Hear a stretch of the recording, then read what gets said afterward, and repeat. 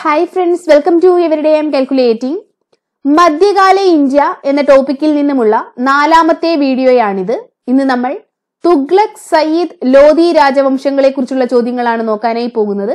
ചോദ്യങ്ങളിലേക്ക് കടക്കും മുൻപായി ചാനൽ ആദ്യമായി കാണുന്നവരുണ്ടെങ്കിൽ ഒന്ന് സബ്സ്ക്രൈബ് ചെയ്യുക. നോട്ടിഫിക്കേഷൻസ് കൃത്യമായി ലഭിക്കാൻ ബെല്ലൈക്കൺ കൂടി എനേബിൾ ചെയ്യുക. ഇതിന് മുൻപത്തെ വീഡിയോസിനായി ഡിസ്ക്രിപ്ഷൻ ബോക്സ് കൂടി സന്ദർശിക്കുക. ചോദ്യങ്ങളിലേക്ക് കടക്കാം. ഖിൽജി വംശത്തിനു ശേഷം ഡൽഹിയിൽ അധികാരത്തിൽ വന്നത് തുഗ്ലക് വംശം. ഖിൽജി വംശത്തിനു ശേഷം ഡൽഹിയിൽ അധികാരത്തിൽ വന്നത് തുഗ്ലക് വംശം. ഡൽഹി സുൽത്താനേറ്റിലെ മൂന്നാമത്തെ രാജവംശം തുഗ്ലക് രാജവംശം. ഡൽഹി സുൽത്താനേറ്റിലെ മൂന്നാമത്തെ വംശം തുഗ്ലക് വംശം. തുഗ്ലക് വംശത്തിന്റെ സ്ഥാപകൻ ഗിയാ സുദീൻ തുഗ്ലക്. തുഗ്ലക് വംശ സ്ഥാപകൻ ഗിയാ സുദീൻ തുഗ്ലക്.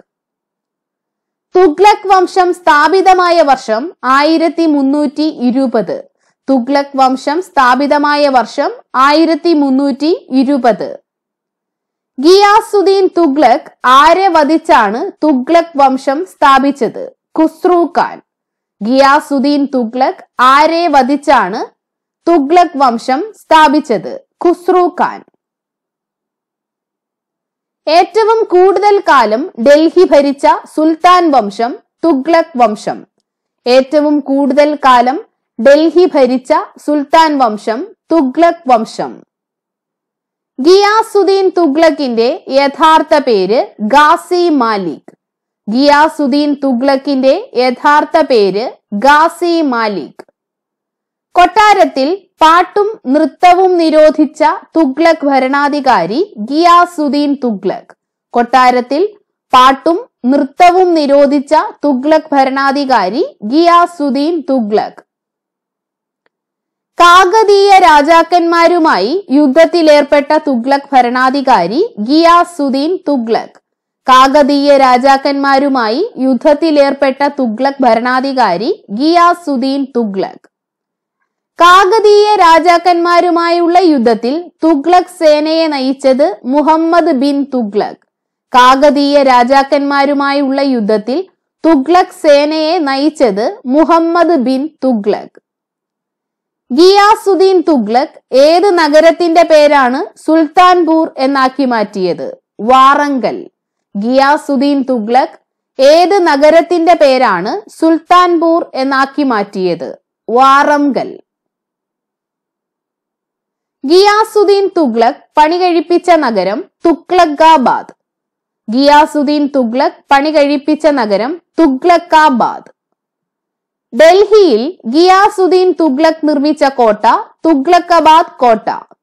ഡൽഹിയിൽ ഗിയാസുദ്ദീൻ തുഗ്ലക് നിർമ്മിച്ച കോട്ട തുഗ്ലക്കാബാദ് കോട്ട. ഗിയാസുദ്ദീൻ തുഗ്ലക്കിന്റെ ഭരണത്തെക്കുറിച്ചുള്ള വിവരണങ്ങൾ അടങ്ങിയിരിക്കുന്ന തുഗ്ലക് നാമ എന്ന കൃതി രചിച്ചത് അമീർ ഖുസ്രു. ഗിയാസുദ്ദീൻ തുഗ്ലക്കിന്റെ ഭരണത്തെക്കുറിച്ചുള്ള വിവരങ്ങൾ അടങ്ങിയിരിക്കുന്ന തുഗ്ലക് നാമ എന്ന കൃതി രചിച്ചത് അമീർ ഖുസ്രു. പന്തൽ തകർന്നു വീണു മരിച്ച തുഗ്ലക് സുൽത്താൻ ഗിയാസുദ്ദീൻ തുഗ്ലക്. പന്തൽ അല്ലെങ്കിൽ പവിലിയൻ തകർന്നു വീണു മരിച്ച തുഗ്ലക് സുൽത്താൻ ഗിയാസുദ്ദീൻ തുഗ്ലക്. ഗിയാസുദ്ദീൻ തുഗ്ലകിന്റെ ശവകുടീരം സ്ഥിതി ചെയ്യുന്നത് തുഗ്ലക്കാബാദ് കോട്ടയിൽ. ഗിയാസുദ്ദീൻ തുഗ്ലക്കിന്റെ ശവകുടീരം സ്ഥിതി ചെയ്യുന്നത് തുഗ്ലക്കാബാദ് കോട്ട. ഗിയാസുദ്ദീൻ തുഗ്ലക്കിന്റെ ശവകുടീരം നിർമ്മിച്ച ഭരണാധികാരി മുഹമ്മദ് ബിൻ തുഗ്ലക്. ഗിയാസുദ്ദീൻ തുഗ്ലക്കിന്റെ ശവകുടീരം നിർമ്മിച്ച ഭരണാധികാരി മുഹമ്മദ് ബിൻ തുഗ്ലക്. തുഗ്ലക് വംശത്തിലെ പ്രശസ്തനായ ഭരണാധികാരി മുഹമ്മദ് ബിൻ തുഗ്ലക്. തുഗ്ലക് വംശത്തിലെ പ്രശസ്തനായ ഭരണാധികാരി മുഹമ്മദ് ബിൻ തുഗ്ലക്. മുഹമ്മദ് ബിൻ തുഗ്ലക്കിന്റെ യഥാർത്ഥ പേര് ജൂന ഖാൻ. മുഹമ്മദ് ബിൻ തുഗ്ലക്കിന്റെ യഥാർത്ഥ പേര് ജൂന ഖാൻ. തലസ്ഥാനം ഡൽഹിയിൽ നിന്നും ദേവഗിരിയിലേക്കും തിരിച്ച് ദേവഗിരിയിൽ നിന്നും ഡൽഹിയിലേക്കും മാറ്റിയ ഭരണാധികാരി മുഹമ്മദ് ബിൻ തുഗ്ലക്. തലസ്ഥാനം ഡൽഹിയിൽ നിന്നും ദേവഗിരി അല്ലെങ്കിൽ ദൗലതാബാദിലേക്കും തിരിച്ച് ദേവഗിരിയിൽ നിന്നും ഡൽഹിയിലേക്കും മാറ്റിയ ഭരണാധികാരി മുഹമ്മദ് ബിൻ തുഗ്ലക്. ഭരണ സൗകര്യത്തിനായി രാജ്യത്തെ ഇരുപത്തിമൂന്ന് പ്രവിശ്യകളായി തിരിച്ച ഭരണാധികാരി മുഹമ്മദ് ബിൻ തുഗ്ലക്. ഭരണ സൗകര്യത്തിനായി രാജ്യത്തെ ഇരുപത്തിമൂന്ന് പ്രവിശ്യകളായി തിരിച്ച ഭരണാധികാരി മുഹമ്മദ് ബിൻ തുഗ്ലക്. ഏറ്റവും കൂടുതൽ അധികാരപരിധി ഉണ്ടായിരുന്ന ഡൽഹി സുൽത്താൻ മുഹമ്മദ് ബിൻ തുഗ്ലക്. ഏറ്റവും കൂടുതൽ അധികാരപരിധി ഉണ്ടായിരുന്ന ഡൽഹി സുൽത്താൻ മുഹമ്മദ് ബിൻ തുഗ്ലക്. മുഹമ്മദ് ബിൻ തുഗ്ലക് രാജ്യ തലസ്ഥാനം ദേവഗിരിയിലേക്ക് മാറ്റിയ വർഷം ആയിരത്തി മുന്നൂറ്റി ഇരുപത്തിയേഴ് മുഹമ്മദ് ബിൻ തുഗ്ലക് രാജ്യ തലസ്ഥാനം ദേവഗിരിയിലേക്ക് മാറ്റിയ വർഷം ആയിരത്തി മുന്നൂറ്റി ഇരുപത്തിയേഴ് മുഹമ്മദ് ബിൻ തുഗ്ലക് പണി കഴിപ്പിച്ച നഗരം ജഹൻപന. മുഹമ്മദ് ബിൻ തുഗ്ലക് പണി കഴിപ്പിച്ച നഗരം ജഹൻപന. കൃഷി വകുപ്പ് സ്ഥാപിച്ച തുഗ്ലക് ഭരണാധികാരി മുഹമ്മദ് ബിൻ തുഗ്ലക്. കൃഷി വകുപ്പ് സ്ഥാപിച്ച ഭരണാധികാരി മുഹമ്മദ് ബിൻ തുഗ്ലക്. കൃഷി വകുപ്പ് അല്ലെങ്കിൽ ദിവാൻ ഇ കോഹി സ്ഥാപിച്ച തുഗ്ലക് ഭരണാധികാരിയാണ് മുഹമ്മദ് ബിൻ തുഗ്ലക്. ഇന്ത്യയിൽ ആദ്യമായി ടോക്കൺ കറൻസി സമ്പ്രദായം നടപ്പിലാക്കിയ ഭരണാധികാരി മുഹമ്മദ് ബിൻ തുഗ്ലക്. ഇന്ത്യയിൽ ആദ്യമായി ടോക്കൺ കറൻസി സമ്പ്രദായം നടപ്പിലാക്കിയ ഭരണാധികാരി മുഹമ്മദ് ബിൻ തുഗ്ലക്. സ്വർണ നാണയങ്ങൾക്ക് പകരം ചെമ്പ് നാണയങ്ങൾ പ്രചരിപ്പിച്ച ഭരണാധികാരി മുഹമ്മദ് ബിൻ തുഗ്ലക്. സ്വർണ നാണയങ്ങൾക്ക് പകരം ചെമ്പ് നാണയങ്ങൾ പ്രചരിപ്പിച്ച ഭരണാധികാരി മുഹമ്മദ് ബിൻ തുഗ്ലക്. നാണയ നിർമ്മിതിയുടെ രാജകുമാരൻ എന്നറിയപ്പെടുന്നത് മുഹമ്മദ് ബിൻ തുഗ്ലക്. നാണയ നിർമ്മിതിയുടെ രാജകുമാരൻ എന്നറിയപ്പെടുന്നത് മുഹമ്മദ് ബിൻ തുഗ്ലക്. മുഹമ്മദ് ബിൻ തുഗ്ലക്കിന്റെ കാലത്ത് ഇന്ത്യ സന്ദർശിച്ച മൊറോക്കൻ സഞ്ചാരി ഇബൻ ബത്തൂത്ത. മുഹമ്മദ് ബിൻ തുഗ്ലക്കിന്റെ കാലത്ത് ഇന്ത്യ സന്ദർശിച്ച മൊറോക്കൻ സഞ്ചാരി ഇബൻ ബത്തൂത്ത. നിർഭാഗ്യവാനായ ആദർശവാദി എന്ന് മുഹമ്മദ് ബിൻ തുഗ്ലക്കിനെ വിശേഷിപ്പിച്ചത് ഇബിൻ ബത്തൂത്ത. നിർഭാഗ്യവാനായ ആദർശവാദി എന്ന് മുഹമ്മദ് ബിൻ തുഗ്ലക്കിനെ വിശേഷിപ്പിച്ചത് ഇബിൻ ബത്തൂത്ത.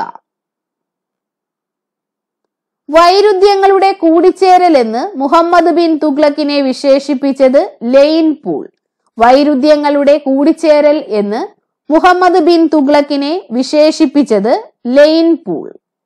നാണയ നിർമ്മിതികളുടെ രാജകുമാരൻ എന്ന് മുഹമ്മദ് ബിൻ തുഗ്ലക്കിനെ വിശേഷിപ്പിച്ചത് എഡ്വേർഡ് തനാസ്. നാണയ നിർമ്മിതികളുടെ രാജകുമാരൻ എന്ന് മുഹമ്മദ് ബിൻ തുഗ്ലക്കിനെ വിശേഷിപ്പിച്ചത് എഡ്വേർഡ് തനാസ്. ബുദ്ധിമാനായ വിഡ്ഢി പിശാജിന്റെ ഹൃദയമുള്ള പുണ്യവാൻ പാഗൽ പാതുഷ ഒരു യുദ്ധത്തിലും തോൽക്കാത്ത ഭരണാധികാരി എന്നീ വിശേഷണങ്ങളുള്ള ഭരണാധികാരി മുഹമ്മദ് ബിൻ തുഗ്ലക്. ബുദ്ധിമാനായ വിഡ്ഢി പിഷാജിന്റെ ഹൃദയമുള്ള പുണ്യവാൻ പാഗൽ പാദുഷ ഒരു യുദ്ധത്തിലും തോൽക്കാത്ത ഭരണാധികാരി എന്നീ വിശേഷണങ്ങളിൽ അറിയപ്പെട്ട തുഗ്ലക് ഭരണാധികാരിയാണ് മുഹമ്മദ് ബിൻ തുഗ്ലക്. ഇബൻ ബത്തൂത്തയെ ചൈനയിലെ അംബാസിഡറായി നിയമിച്ച ഭരണാധികാരി മുഹമ്മദ് ബിൻ തുഗ്ലക്. ഇബൻ ബത്തൂത്തയെ ചൈനയിലെ അംബാസിഡറായി നിയമിച്ച ഭരണാധികാരി മുഹമ്മദ് ബിൻ തുഗ്ലക്. പതിനാലാം നൂറ്റാണ്ടിൽ ഇന്ത്യയിലെത്തിയ ഇബൻ ബത്തൂത്ത അന്നത്തെ കാർഷിക പുരോഗതിയെക്കുറിച്ച് ഏത് ഗ്രന്ഥത്തിലാണ് വിവരിക്കുന്നത്? കിതാബുൽ റിഹില. പതിനാലാം നൂറ്റാണ്ടിൽ ഇന്ത്യയിലെത്തിയ ഇബിൻ ബത്തൂത്ത അന്നത്തെ കാർഷിക പുരോഗതിയെക്കുറിച്ച് ഏത് ഗ്രന്ഥത്തിലാണ് വിവരിക്കുന്നത്? കിതാബുൽ റിഹില. മുഹമ്മദ് ബിൻ തുഗ്ലക്കിനെ കുറിച്ച് ഇബൻ ബത്തൂത്ത എഴുതിയ പുസ്തകം സഫർ നാമ മുഹമ്മദ് ബിൻ തുഗ്ലക്കിനെ കുറിച്ച് ഇബൻ ബത്തൂത്ത എഴുതിയ പുസ്തകം സഫർ നാമ വിജയനഗര സാമ്രാജ്യം ബഹുമനി സാമ്രാജ്യം എന്നിവ സ്ഥാപിതമായത് ഏത് ഡൽഹി സുൽത്താന്റെ കാലത്താണ്? മുഹമ്മദ് ബിൻ തുഗ്ലക്. വിജയനഗര സാമ്രാജ്യം ബാഹുമനി സാമ്രാജ്യം എന്നിവ സ്ഥാപിതമായത് ഏത് ഡൽഹി സുൽത്താന്റെ കാലത്താണ്? മുഹമ്മദ് ബിൻ തുഗ്ലക്. ഡക്കാൻ കലാപ സമയത്തെ തുഗ്ലക് ഭരണാധികാരി മുഹമ്മദ് ബിൻ തുഗ്ലക്. ഡക്കാൻ കലാപ സമയത്തെ തുഗ്ലക് ഭരണാധികാരി മുഹമ്മദ് ബിൻ തുഗ്ലക്.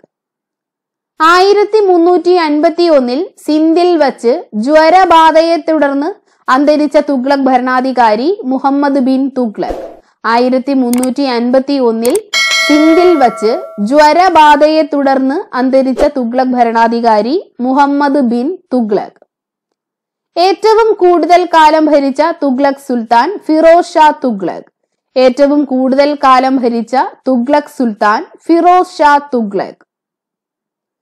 ഖലീഫയുടെ പ്രതിപുരുഷൻ എന്ന് സ്വയം വിശേഷിപ്പിച്ച സുൽത്താൻ ഫിറോസ് ഷാ തുഗ്ലക്. ഖലീഫയുടെ പ്രതിപുരുഷൻ എന്ന് സ്വയം വിശേഷിപ്പിച്ച സുൽത്താൻ ഫിറോസ് ഷാ തുഗ്ലക്. സർക്കാർ നിർമ്മിച്ച കനാലുകളിൽ നിന്നും കൃഷി ആവശ്യങ്ങൾക്ക് വെള്ളമെടുക്കുന്നതിന് ജലനികുതി ചുമത്തിയ സുൽത്താൻ ഫിറോസ് ഷാ തുഗ്ലക്. സർക്കാർ നിർമ്മിച്ച കനാലുകളിൽ നിന്നും കൃഷി ആവശ്യങ്ങൾക്ക് വെള്ളമെടുക്കുന്നതിന് ജലനികുതി ചുമത്തിയ സുൽത്താൻ ഫിറോസ് ഷാ തുഗ്ലക്. ജലനികുതിയെ ഹക് ഇ ഷരാബ് എന്നാണ് അറിയപ്പെട്ടിരുന്നത്. കാർഷിക പുരോഗതിക്ക് വേണ്ടി ജലസേചന പദ്ധതികൾ തുടങ്ങിയ തുഗ്ലക് ഭരണാധികാരി ഫിറോസ് ഷാ തുഗ്ലക്. കാർഷിക പുരോഗതിക്ക് വേണ്ടി ജലസേചന പദ്ധതികൾ തുടങ്ങിയ തുഗ്ലക് ഭരണാധികാരി ഫിറോസ് ഷാ തുഗ്ലക്. യമുന നദിയിൽ നിന്നും കൃഷിയിടങ്ങളിലേക്ക് ജലമെത്തിക്കാൻ യമുന കനാൽ പണി കഴിപ്പിച്ച ഭരണാധികാരി ഫിറോസ് ഷാ തുഗ്ലക്. യമുന നദിയിൽ നിന്നും കൃഷിയിടങ്ങളിലേക്ക് ജലമെത്തിക്കാൻ യമുന കനാൽ പണി കഴിപ്പിച്ച ഭരണാധികാരി ഫിറോസ് ഷാ തുഗ്ലക്. ഇന്ത്യയിൽ വിപുലമായ കനാൽ സംവിധാനം ആരംഭിച്ച ഭരണാധികാരി ഫിറോസ് ഷാ തുഗ്ലക്. ഇന്ത്യയിൽ വിപുലമായ കനാൽ സംവിധാനം ആരംഭിച്ച ഭരണാധികാരി ഫിറോസ് ഷാ തുഗ്ലക്. ഖുത്തബ് മിനാറിന്റെ മിന്നലേറ്റ് തകർന്ന നാലാം നില പുനർനിർമ്മിച്ച ഭരണാധികാരി ഫിറോസ് ഷാ തുഗ്ലക്. ഖുത്തബ് മിനാറിന്റെ മിന്നലേറ്റ് തകർന്ന നാലാം നില പുനർനിർമ്മിച്ച ഭരണാധികാരി ഫിറോസ് ഷാ തുഗ്ലക്. ഹിന്ദുക്കളുടെ മേൽ ജസിയ എന്ന മതനികുതി ഏർപ്പെടുത്തിയ ആദ്യ ഭരണാധികാരി ഫിറോസ് ഷാ തുഗ്ലക്. ഹിന്ദുക്കളുടെ മേൽ ജസിയ എന്ന മതനികുതി ഏർപ്പെടുത്തിയ ആദ്യ ഭരണാധികാരി ഫിറോസ് ഷാ തുഗ്ലക്. ഫിറോസാബാദ് ഹിസാർ ഇ ഫിറോസ ഫത്തേഹാബാദ് എന്നീ പട്ടണങ്ങൾ പണി കഴിപ്പിച്ച ഭരണാധികാരി ഫിറോസ് ഷാ തുഗ്ലക്. ഫിറോസാബാദ് ഹിസാർ ഇ ഫിറോസ അഥവാ ഹിസർ ഫത്തേഹാബാദ് എന്നീ പട്ടണങ്ങൾ പണികഴിപ്പിച്ച ഭരണാധികാരി ഫിറോസ് ഷാ തുഗ്ലക്. ഫിറോസാബാദിനെ സംരക്ഷിക്കുന്നതിനായി ഫിറോസ് ഷാ തുഗ്ലക് പണികഴിപ്പിച്ച കോട്ട ഫിറോസ് ഷാ കോട്ട്ല. ഫിറോസാബാദിനെ സംരക്ഷിക്കുന്നതിനായി ഫിറോസ് ഷാ തുഗ്ലക് പണികഴിപ്പിച്ച കോട്ട ഫിറോസ് ഷാ കോട്ട്ല. മുഹമ്മദ് ബിൻ തുഗ്ലക്കിന്റെ സ്മരണയ്ക്കായി ഫിറോസ് ഷാ തുഗ്ലക് പണികഴിപ്പിച്ച നഗരം ജൗൻപൂർ. മുഹമ്മദ് ബിൻ തുഗ്ലക്കിന്റെ സ്മരണയ്ക്കായി ഫിറോസ് ഷാ തുഗ്ലക് പണി പണികഴിപ്പിച്ച നഗരം ജൗൻപൂർ. ദരിദ്ര ജനങ്ങൾക്ക് വേണ്ടി ദാറുൽ ഷിഫ എന്ന പേരിൽ ധർമാശുപത്രികൾ ആരംഭിച്ചത് ഫിറോസ് ഷാ തുഗ്ലക് ദരിദ്ര ജനങ്ങൾക്ക് വേണ്ടി ദാർ ഉൽ ഷിഫ എന്ന പേരിൽ ധർമാശുപത്രികൾ ആരംഭിച്ചത് ഫിറോസ് ഷാ തുഗ്ലക് അടിമകൾക്ക് വേണ്ടി ഫിറോസ് ഷാ തുഗ്ലക് ആരംഭിച്ച വകുപ്പ് ദിവാൻ ഇ ബന്ദുഗൻ അടിമകൾക്ക് വേണ്ടി ഫിറോസ് ഷാ തുഗ്ലക് ആരംഭിച്ച വകുപ്പ് ദിവാൻ ഇ ബന്ദുഗൻ ദരിദ്രരായ മുസ്ലിം പെൺകുട്ടികളെ വിവാഹം കഴിപ്പിച്ച് അയക്കുന്നതിനായി ഫിറോസ് ഷാ തുഗ്ലക് ആരംഭിച്ച വകുപ്പ് ദിവാൻ ഇ ഖയറാത്ത്. ദരിദ്രരായ മുസ്ലിം പെൺകുട്ടികളെ വിവാഹം കഴിപ്പിച്ച് അയക്കുന്നതിനായി ഫിറോസ് ഷാ തുഗ്ലക് ആരംഭിച്ച വകുപ്പ് ദിവാൻ ഇ ഖയറാത്ത്. തൊഴിൽ രഹിതർക്കു വേണ്ടി തൊഴിൽ ദാന കാര്യാലയം ആരംഭിച്ച സുൽത്താൻ ഫിറോസ് ഷാ തുഗ്ലക്. തൊഴിൽ രഹിതർക്കു വേണ്ടി തൊഴിൽ ദാന കാര്യാലയം ആരംഭിച്ച സുൽത്താൻ ഫിറോസ് ഷാ തുഗ്ലക്. മീററ്റിൽ നിന്നും തോപ്രയിൽ നിന്നും രണ്ട് അശോക സ്തംഭങ്ങൾ ഡൽഹിയിലേക്ക് എത്തിച്ച സുൽത്താൻ ഫിറോസ് ഷാ തുഗ്ലക്. മീററ്റിൽ നിന്നും തോപ്രയിൽ നിന്നും രണ്ട് അശോക സ്തംഭങ്ങൾ ഡൽഹിയിലേക്ക് എത്തിച്ച സുൽത്താൻ ഫിറോസ് ഷാ തുഗ്ലക്. ഫത്തുഹത്ത് ഈ ഫിറോസ് ഷാഹി എന്ന ആത്മകഥ രചിച്ചത് ഫിറോസ് ഷാ തുഗ്ലക്. ഫത്തുഹത്ത് ഈ ഫിറോസ് ഷാഹി എന്ന ആത്മകഥ രചിച്ചത് ഫിറോസ് ഷാ തുഗ്ലക്. ഫിറോസ് ഷാ തുഗ്ലക്കിന്റെ ഭരണകാലത്ത് എഴുതപ്പെട്ട ഡൽഹി സുൽത്താൻമാരുടെ ചരിത്രം വിവരിക്കുന്ന ഗ്രന്ഥം താരിഖ് ഇ ഫിറോസ് ഷാഹി.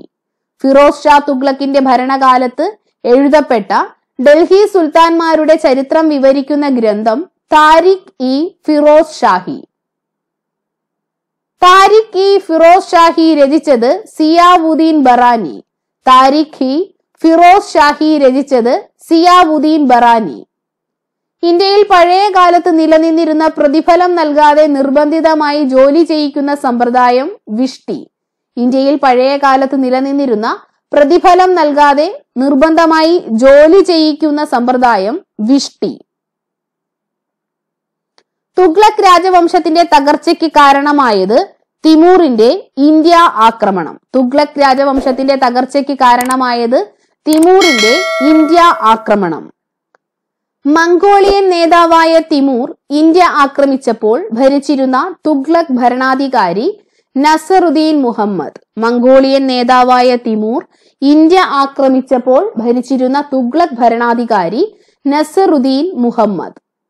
തിമൂർ ഇന്ത്യ ആക്രമിച്ച വർഷം ആയിരത്തി മുന്നൂറ്റി തൊണ്ണൂറ്റി എട്ട് തിമൂർ ഇന്ത്യ ആക്രമിച്ച വർഷം ആയിരത്തി മുന്നൂറ്റി തൊണ്ണൂറ്റി എട്ട് തിമൂറിന്റെ തലസ്ഥാനം സമർഖണ്ഡ്. തിമൂറിന്റെ തലസ്ഥാനം സമർഖണ്ഡ്. തുഗ്ലക് വംശത്തിലെ അവസാന ഭരണാധികാരി നസറുദ്ദീൻ മുഹമ്മദ്. തുഗ്ലക് വംശത്തിലെ അവസാന ഭരണാധികാരി നസറുദ്ദീൻ മുഹമ്മദ്. ഡൽഹി സുൽത്താനേറ്റിലെ നാലാമത്തെ രാജവംശം സയ്യിദ് വംശം അഥവാ സെയ്ദ് വംശം. ഡൽഹി സുൽത്താനേറ്റിലെ നാലാമത്തെ രാജവംശമാണ് സെയ്ദ് വംശം എന്നും അറിയപ്പെടുന്ന സയ്യിദ് വംശം. സയ്യിദ് വംശസ്ഥാപകൻ കിസർ ഖാൻ. സയ്യിദ് വംശസ്ഥാപകൻ കിസർ ഖാൻ. തിമൂർ ഇന്ത്യയിൽ നിയമിച്ച ഗവർണർ കിസർ ഖാൻ. തിമൂർ ഇന്ത്യയിൽ നിയമിച്ച ഗവർണർ കിസർ ഖാൻ. കിസർ ഖാൻ ഡൽഹിയുടെ ഭരണം പിടിച്ചെടുത്തത് ആയിരത്തി നാനൂറ്റി പതിനാല് കിസർ ഖാൻ ഡൽഹിയുടെ ഭരണം പിടിച്ചെടുത്തത് ആയിരത്തി നാനൂറ്റി പതിനാല് സുൽത്താൻ എന്ന സ്ഥാനപ്പേര് സ്വീകരിക്കാത്ത രാജവംശം സയ്യിദ് വംശം. സുൽത്താൻ എന്ന സ്ഥാനപ്പേര് സ്വീകരിക്കാത്ത രാജവംശം സയ്യിദ് വംശം. നാണയങ്ങളിൽ പേര് മുദ്രണം ചെയ്യാത്ത രാജവംശം സയ്യിദ് വംശം. നാണയങ്ങളിൽ പേര് മുദ്രണം ചെയ്യാത്ത രാജവംശം സയ്യിദ് വംശം. പ്രവാചകന്റെ വംശപരമ്പരയിൽപ്പെട്ടതാണ് കിസർ എന്ന് പറയുന്ന പുസ്തകം താരിഖ് ഇ മുബാരക് ഷാഹി. പ്രവാചകന്റെ വംശപരമ്പരയിൽപ്പെട്ടതാണ് കിസർ എന്ന് പറയുന്ന പുസ്തകം താരിഖ് ഇ മുബാരക് ഷാഹി. താരിഖ് ഇ മുബാരക് ഷാഹി എന്ന പ്രസിദ്ധ കൃതിയുടെ കർത്താവ് യാഹിയ സർഹിങ് താരിഖ് ഇ മുബാരക് ഷാഹി എന്ന പ്രസിദ്ധ കൃതിയുടെ കർത്താവ് യാഹിയ സർഹി കിസർ ശേഷം സുൽത്താനായത് മുബാരക് ഷാ. കിസർ ശേഷം സുൽത്താനായത് മുബാരക് ഷാ. ഏറ്റവും കൂടുതൽ കാലം ഭരിച്ച സയ്യിദ് ഭരണാധികാരി മുബാരക് ഷാ. ഏറ്റവും കൂടുതൽ കാലം ഭരിച്ച സയ്യിദ് ഭരണാധികാരി മുബാരക് ഷാ.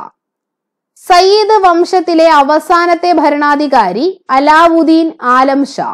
സയ്യിദ് വംശത്തിലെ അവസാനത്തെ ഭരണാധികാരി അലാവുദ്ദീൻ ആലം ഷാ. ബഹലൂൽ ലോധിക്ക് കീഴടങ്ങി സ്ഥാനത്യാഗം ചെയ്ത സുൽത്താൻ അലാവുദ്ദീൻ ആലം ഷാ. ബഹലൂൽ ലോധിക്ക് കീഴടങ്ങി സ്ഥാനത്യാഗം ചെയ്ത സുൽത്താൻ അലാവുദ്ദീൻ ആലം ഷാ.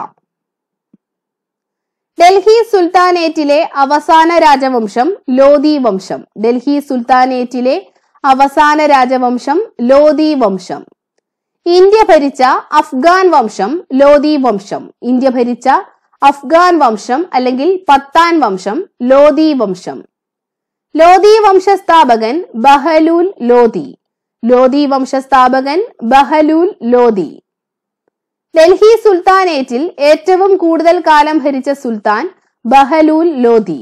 ഡൽഹി സുൽത്താനേറ്റിൽ ഏറ്റവും കൂടുതൽ കാലം ഭരിച്ച സുൽത്താൻ ബഹലൂൽ ലോധി. ലോധി വംശത്തിലെ പ്രശസ്തനായ ഭരണാധികാരി സിക്കന്ദർ ലോധി. ലോധി വംശത്തിലെ പ്രശസ്തനായ ഭരണാധികാരി സിക്കന്ദർ ലോധി. കരം പിരിക്കുന്നതിനായി ഭൂമി അളക്കാൻ സിക്കന്ദർ ലോധി ആവിഷ്കരിച്ച യൂണിറ്റ് ഗസ് ഇ സിക്കന്ദരി. കരം പിരിക്കുന്നതിനായി ഭൂമി അളക്കാൻ സിക്കന്ദർ ലോധി ആവിഷ്കരിച്ച യൂണിറ്റ് ഗസ് ഇ സിക്കന്ദരി. ആഗ്ര പട്ടണത്തിന്റെ ശില്പി സിക്കന്ദർ ലോധി. ആഗ്ര പട്ടണത്തിന്റെ ശില്പി സിക്കന്ദർ ലോധി. തലസ്ഥാനം ഡൽഹിയിൽ നിന്നും ആഗ്രയിലേക്ക് മാറ്റിയ ലോധി ഭരണാധികാരി സിക്കന്ദർ ലോധി. തലസ്ഥാനം ഡൽഹിയിൽ നിന്നും ആഗ്രയിലേക്ക് മാറ്റിയ ലോധി ഭരണാധികാരി സിക്കന്ദർ ലോധി. ഗുൽ റൂബി എന്ന തൂലികാ നാമത്തിൽ പേർഷ്യൻ കൃതികൾ എഴുതിയ ഭരണാധികാരി സിക്കന്ദർ ലോധി. ഗുൽ റൂബി എന്ന തൂലികാ നാമത്തിൽ പേർഷ്യൻ കൃതികൾ എഴുതിയ ഭരണാധികാരി സിക്കന്ദർ ലോധി. ബാബറിനെ ഇന്ത്യയിലേക്ക് ക്ഷണിച്ച ലാഹോറിലെ ലോധി ഗവർണർ ദൗലത്ത് ഖാൻ ലോധി. ബാബറിനെ ഇന്ത്യയിലേക്ക് ക്ഷണിച്ച ലാഹോറിലെ ലോധി ഗവർണർ ദൗലത്ത് ഖാൻ ലോധി. ലോധി വംശത്തിലെ അവസാനത്തെ സുൽത്താൻ ഇബ്രാഹിം ലോധി. ലോധി വംശത്തിലെ അവസാനത്തെ സുൽത്താൻ ഇബ്രാഹിം ലോധി. ഇബ്രാഹിം ലോധിയെ ആയിരത്തി അഞ്ഞൂറ്റി ഇരുപത്തിയാറിൽ ഒന്നാം പാനിപ്പത്ത് യുദ്ധത്തിൽ പരാജയപ്പെടുത്തിയത് ബാബർ. ഇബ്രാഹിം ലോധിയെ ആയിരത്തി അഞ്ഞൂറ്റി ഇരുപത്തിയാറിൽ ഒന്നാം പാനിപ്പത്ത് യുദ്ധത്തിൽ പരാജയപ്പെടുത്തിയത് ബാബർ.